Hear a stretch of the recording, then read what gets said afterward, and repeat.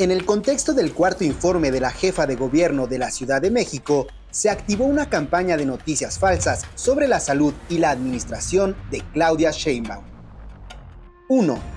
Falso que la jefa de gobierno fue ingresada de emergencia en el Hospital de Especialidades de Nutrición el 4 de diciembre de 2022.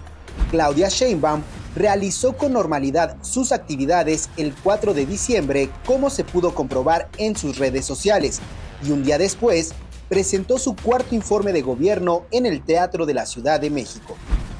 2. Falso que el gobierno de la Ciudad de México pretendía privatizar los suelos de conservación de Xochimilco y áreas protegidas de pueblos originarios de la capital del país. En sus cuentas de redes sociales, Claudia Sheinbaum negó que su administración tuviera intenciones de privatizar el suelo. Por el contrario, destacó que durante su administración se ha multiplicado cinco veces la conservación de los bosques de la capital. 3. Falso que Jesús María Tarriba Unger, pareja sentimental de Sheinbaum Pardo, fuera operador financiero de Amado Carrillo Fuentes, el Señor de los Cielos. Este rumor fue retomado en medios web y en redes sociales sin presentar un solo documento que probara los dichos.